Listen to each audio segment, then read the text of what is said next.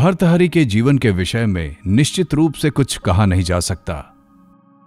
कहते हैं कि ईसा पूर्व की पहली या दूसरी शताब्दी में महाराज गंधर्व सेन उज्जैन के राजा थे। उनकी दो पत्नियाँ थीं। पहली पत्नी के पुत्र थे भर्तृहरि और दूसरी के पुत्र थे विक्रमादित्य, जिनके नाम पर विक्रमीय संवत प्रचलित हुआ। पिता की मृत्यु के उपरांत पहले भर्तहरि को राज्यभार मिला। परंतु कुछ काल बाद ही उन्हें वैराग्य हुआ और उन्होंने राज्य अपने छोटे भाई विक्रम को दे दिया, जो विक्रमादित्य के नाम से प्रसिद्ध हुए। श्री भर्तहरि द्वारा लिखित संस्कृत के कई ग्रंथों में उनकी शतक त्रयी सर्वाधिक विख्यात है। स्वामी विवेकानंद ने अपने पत्रों तथा व्याख्यानों में अनेक स्थानों पर इनके उद्धरण दिए हैं। प्रस्तुत है भर्तहरिकृत। वैराग्य शतकम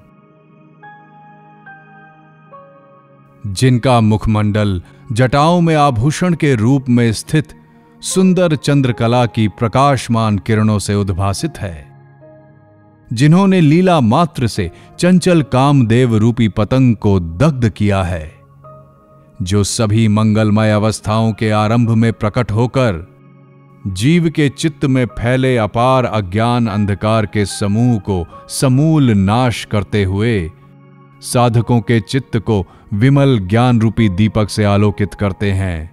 वे महादेव शिव योगियों के हृदय मंदिर में सदा विराजित हैं। अनेक दुर्गम विषम स्थानों में भटकने पर भी मुझे धन आदि रूप में किसी भी फल की प्राप्ति नहीं हुई। अपने जाति कुल के अभिमान को त्याग कर की हुई धनवानों की मेरी सेवा भी व्यर्थ गई। कौवे के समान डरते तथा अपमान सहते हुए मैं दूसरों के घर खाता रहा। रे पाप कर्मों में लुब्ध रहने वाली तृष्णे, इतने पर भी तुझे संतोष नहीं हुआ, जो तू दिन पर दिन बढ़ती चली जा रही है। गड़े हुए धन के लोभ में मैंने धरती को खोदा सोना पाने के लिए मैंने पहाड़ी धातुओं को गलाया। व्यापार हेतु मैं समुद्र पार गया। राजाओं की सेवा की। मंत्र सिद्धि के निमित्त रात रात भर शमशान में बैठा रहा। परंतु मुझे एक कानी कौड़ी भी न मिली। अतः रे तृष्णे, अब तो मुझे छोड़ दे। अपनी स्वार्थ सिद्धि हेतु मैंने दुर्जनों के दुर्वचन और उनके आराधकों के उपहास बड़ी कठिनाई से भीतर के आंसुओं को रोकते हुए सुने मन से सहे और धन के मद से जड़ी भूत बुद्धि वाले लोगों के सामने हाथ जोड़कर खड़ा रहा। हे हताश तृष्णे, तू मुझे इससे अधिक और क्या नचाएगी? कर्तव्य अकर्तव्य के विवेक से शून्य होकर हमने पद्म पत्र पर पड़े जल के समान चंचल, इन प्राणों की रक्षा के लिए क्या क्या नहीं किया? अर्थात सारे दुष्कर्म किए। यहाँ तक कि धन के मद में चूर धनिकों के सामने निर्लज होकर अपना गुणगान करने का पाप भी हमने किया। हमने वास्तविक क्षमा भाव से क्षमा नहीं किया। संसार के विविध सहज लभ्य सुखों की तुच्छता समझकर संतोषपूर्वक उनका त्याग नहीं किया, बल्कि मजबूरी में किया। कठोर ठंड, हवा, धूप आदि के कष्ट सहन किए, परंतु चांद्रायण आदि तप में नहीं तपे। दिन रात धन का चिंतन किया, परंतु संयमित प्राणों से महादेव शिव के चरणों का ध्यान नहीं किया। मुनियों द्वारा जो भी किए जाते हैं, वो सारे कर्म हमने किए। परंतु उचित भाव न होने के कारण उन उन कर्मों के फलों से हम वंचित रह गए।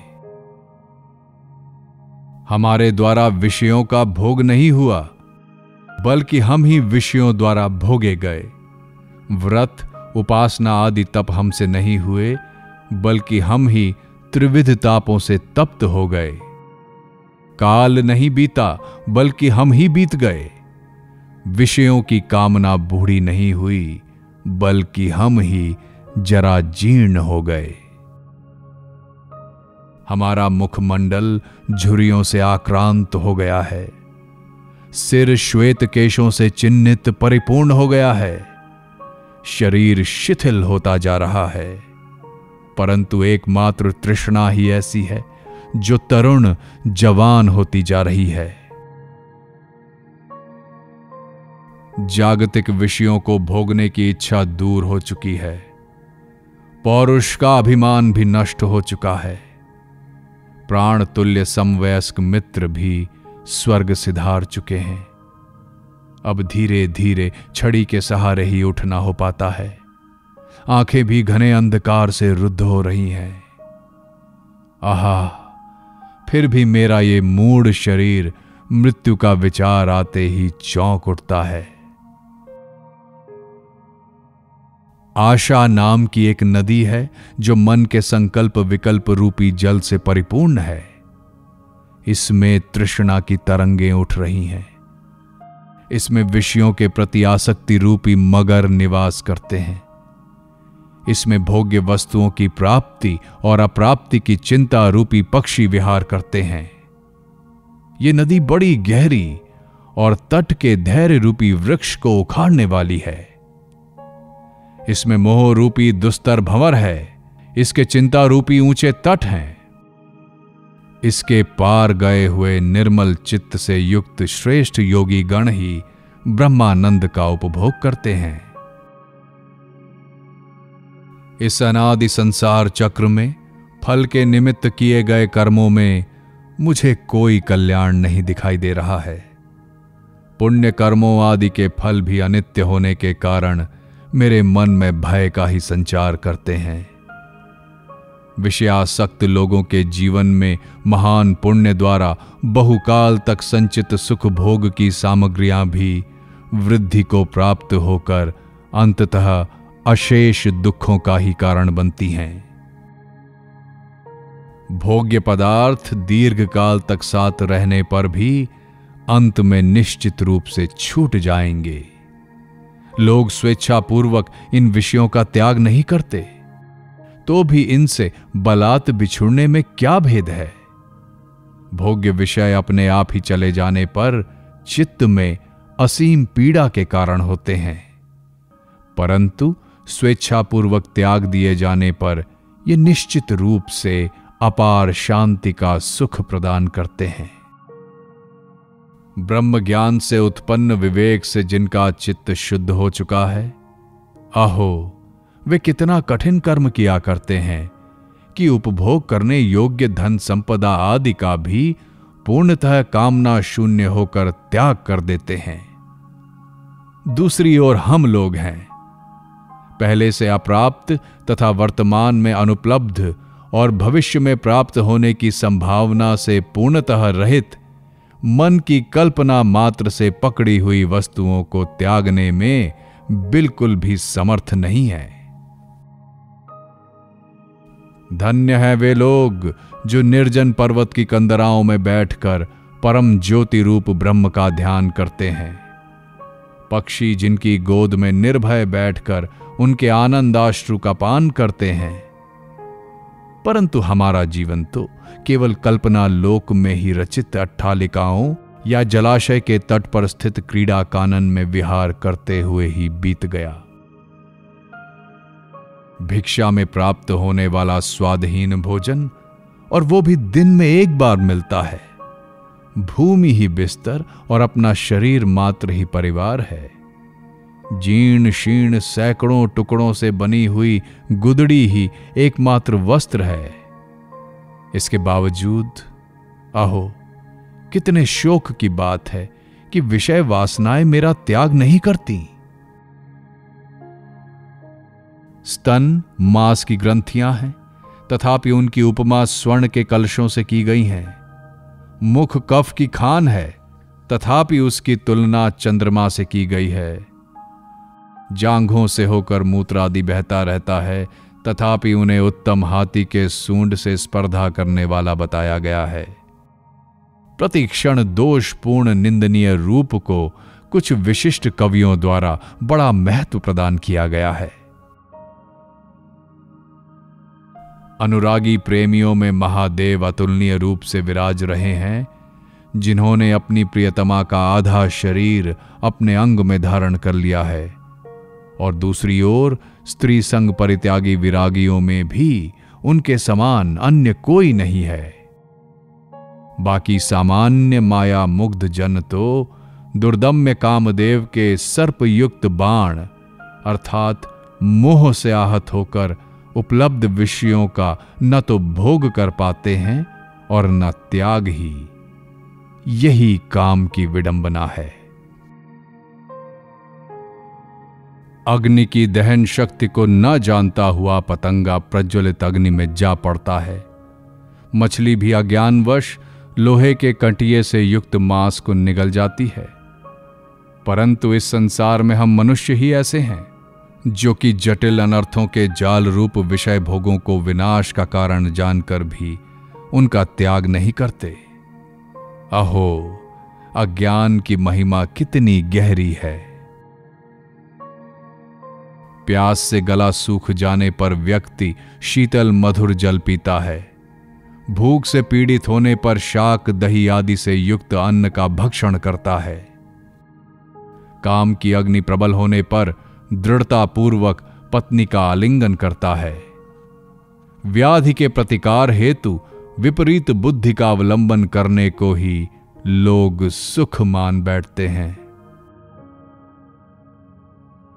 अज्ञान से विमूढ़ मानव ये मानकर इस संसार रूपी कारागार में निवास करता है कि मेरा मकान भव्य है, पुत्र सज्जनों द्वारा प्रशंसित है, संपदा असीम है, पत्नी सहायिका है, युवावस्था नई है और जगत चिरस्थाई है।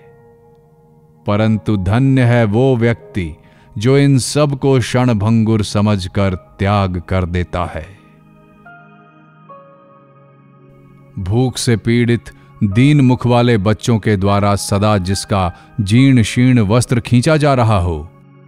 निर्धन अन्न रहित घर में यदि अत्यंत दुखी घरवाली न दिख पड़े तो फिर कौन सा स्वाभिमानी धीर पुरुष अपनी याचना के अस्वीकृत हो जाने के भय के कारण अवरुद्ध गले के साथ अस्पष्ट स्वर में अपने जल रहे पेट के लिए दीजिए शब्द का उच्चारण करेगा। अर्थात बाल बच्चों के लिए ही ऐसा बोलना पड़ता है। उदर पूर्ति के लिए याचना स्वाभिमानी लोगों के परम प्रिय आत्मसम्मान का नाश करती है। चंद्रमा के आलोक में कमल के समान ही इससे हमारे सद्गुण संकुचित हो जाते हैं। हमारी लज्जा संकोच रूपी हरी भरी लता को कुल्हाड़ी के समान उन्मूलित कर डालने वाला दुष्पूर्णीय पेट रूपी ये पात्र ही समस्त विडंबनाओं का कारण है। भूख से पीड़ित होकर भी स्वाभिमानी व्यक्ति के लिए अपने समान कुल वाले लोगों के बीच दीन भाव से रहना उचित नहीं। इससे तो अच्छा है कि भूख लगने पर वो अपनी पेट रूपी गुफा को भरने के लिए शास्त्रज्ञ ब्राह्मणों द्वारा किए जा रहे यज्ञों के धुएँ से काले हुए पुनीत गाँवों या विशाल वनों में, श्वेत वस्त्र के किनारों तक ढके हुए भिक्षा पात्र के साथ प्रतिदिन द्वार द्वार पर जाकर भिक्षा मांग कर प्राण रक्षा करे। क्या हिमालय में स्थित गंगा तरंगों की फुहारों से शीतल, मनोहर शिला पृष्ठों से युक्त विद्याधरों के निवास लुप्त हो गए हैं? तो फिर लोग क्यों अपमान सहित प्राप्त होने वाले दूसरों से प्राप्त होने वाले अन्न के लिए प्रयास करते रहते हैं? क्या गिरी कंदराओं के फल, मूल आदि खाद्य पदार्थ समाप्त हो गए हैं? या पहाड़ों के झरने सूख गए हैं? या वृक्षों के मधुर फलधारी तथा वत्कल युक्त शाखाएँ ध्वस्त हो गई हैं? नहीं तो क्यों व्यक्ति उन अत्यंत विनय रहित दुष्ट लोगों के मुखों का दर्शन करेगा जो बड़ी कठिनाई से प्राप्त हुए, अल्प धन रूपी गर्भ वायु से संकुचित अपनी भ्रिकुटियाँ सर्वदा टेढ़ी किए रहते हैं। हे मित्र, उठो, अब हम वन में चलेंगे। वहाँ पवित्र फल मूल द्वारा अति प्रिय आजीविका अपनाएँगे और ताजे नव पल्लवों से भूमि पर बिस्तर सजाएँगे। वहाँ शुद्र अज्ञानी मूड मन वाले और धन से, रोग से विकृत हुई वाणी वाले राजाओं का नाम तक सुनने को नहीं मिलेगा। जब खाने के लिए प्रत्येक वन के वृक्षों पर सहज एवं स्वेच्छया प्राप्य फल विद्यमान है, जब पीने के लिए जगह जगह पवित्र नदियों का शीतल तथा मधुर जल प्रवाहित हो रहा है, जब सोने को सर्वत्र सुंदर लता पल्लवों की कोमल शैया सुलभ है तो भी कितने आश्चर्य की बात है कि लोभी मनुष्य धनिकों के द्वार पर उपस्थित होकर कितने ही तरह के अपमान तथा कष्ट सहन करते रहते हैं। बीच बीच में ध्यान टूटने पर पर्वत की गुफा में पाषाण की शैया पर विश्राम करते हुए अंतकरण में सहज भाव से स्फुरित होने वाली हँसी के साथ मैं उन लोगों के दिनों की याद करता हूँ जो धनवानों के द्वार पर याचना के दुख से पीड़ित हो रहे हैं और जिनकी बुद्धि भोगों की प्राप्ति के लिए हीनता को स्वीकार कर रही है। जो लोग दैवलब्ध जो भी मिल जाए, सदा उसी में संतुष्ट रहते हैं। उनका आनंद कभी विच्छिन्न नहीं होता, बल्कि बढ़ता जाता है। और बाकी लोग, जिनका चित्त धन लोभ से आकुल है उनकी तृष्णा दूर नहीं होती, बल्कि बढ़ती जाती है। ऐसी स्थिति में स्वयं में ही स्वर्ण महिमा से महिमान्वित परम संपदा के भंडार, मेरु पर्वत को ब्रह्मा ने किसके लिए बनाया है? क्योंकि उससे न तो संतोषी व्यक्ति के सुख में वृद्धि होती है, और न ही लोभी की तृष्णा ही शांत होती है। ऐसा वो मेरु पर्वत मुझे तो जरा भी नहीं रुचता।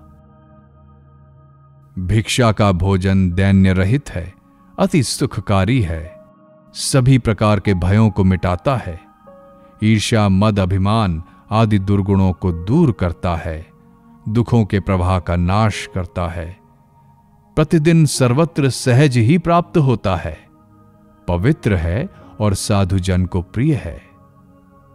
ये भगवान शिव का खुला हुआ सदा व्रत का अक्षय कोश है।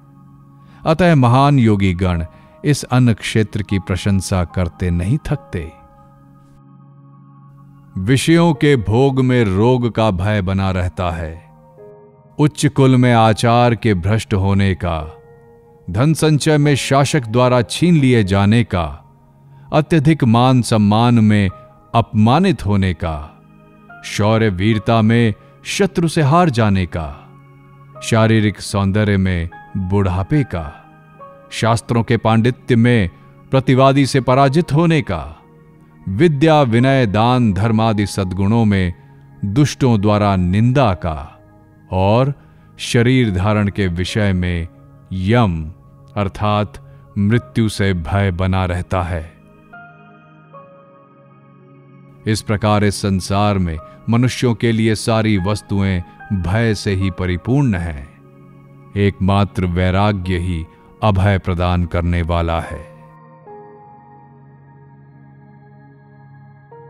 जीवन को मृत्यु ने अति शोभामय यौवन को बुढ़ापे ने, चित्त के संतोष को धन लिप्सा ने, संयम के सुख को प्रगल्भ नारियों के हाव भाव ने, विद्या विनय आदि गुणों को ईर्ष्यालु व्यक्तियों ने, वन स्थली को सर्पों ने राजा को दुर्जन सभासदों ने और ऐश्वर्य को अस्थिरता ने ग्रस्त कर रखा है। इस जगत में ऐसी कौन सी वस्तु है जो किसी अन्य के द्वारा ग्रस्त ना हो? विविध प्रकार के सैकड़ों शारीरिक तथा मानसिक रोग मनुष्य का स्वास्थ्य चौपट कर डालते हैं। जहाँ भी संपदा विद्यमान है आपदाएँ मानो वहाँ खुला द्वार पाकर प्रविष्ट हो जाती हैं। विवश होकर बारंबार जन्म लेने वाले मनुष्य को मृत्यु शीघ्र ही निगल जाती है। अतः निरंकुश विधाता के द्वारा भला ऐसी कौन सी वस्तु निर्मित हुई है जो चिर स्थायी हो? अर्थात कुछ भी स्थिर या स्थायी नहीं है। इंद्रियों के भोग्य विषय उच्च तरंगों में बिखरने के समान चंचल हैं। प्राण भी क्षण भर में नष्ट होने वाले हैं। प्रेमिकाओं में विद्यमान यौवन के सुख की अभिव्यक्ति भी कुछ दिनों के लिए है। अतः हे उपदेशक विद्वानों, इस अखिल विश्व को ही निस्सार समझकर सब पर कृपा युक्त चित्त के साथ सबके उपकार की चेष्टा में मनोयोग करो। देहधारियों के लिए विषय भोग, मेघमाला के बीच चमकती हुई तड़ित के समान चंचल है।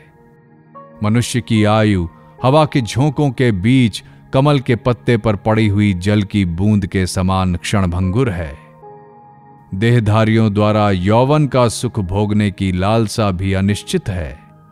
अतः, बुद्धिमान मनुष्य को चाहिए कि वो इस पर विचार करके यथाशीघ्र धैर्य तथा एकाग्रता द्वारा सहज लभ्य योग में अपनी बुद्धि को नियोजित करे।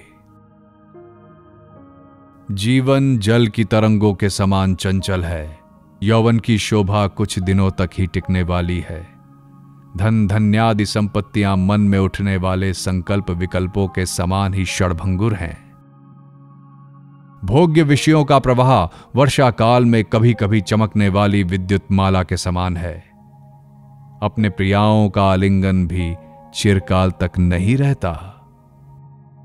अतः इस भयानक संसार को पार करने के लिए एकमात्र ब्रह्म में ही अपने चित्त को लगाओ। गर्भवास के समय मनुष्य मलमूत्र से पूरित अपवित्र स्थान में शरीर को सिकोड़े रहता है। युवावस्था में उसे अपनी प्रियसी के वियोग का विषम दुख झेलना पड़ता है। और वृद्धावस्था में भी सुंदर नेत्रों वाली नारियों के अवज्ञापूर्ण उपहास का पात्र बनना पड़ता है। हे मनुष्यों, बताओ, क्या इस संसार में थोड़ा सा भी सुख है? नहीं है। वृद्धावस्था बागिन के समान गर्जन करते हुए सामने खड़ी है। रोग आदि भी शत्रुओं के समान शरीर पर आक्रमण कर रहे हैं।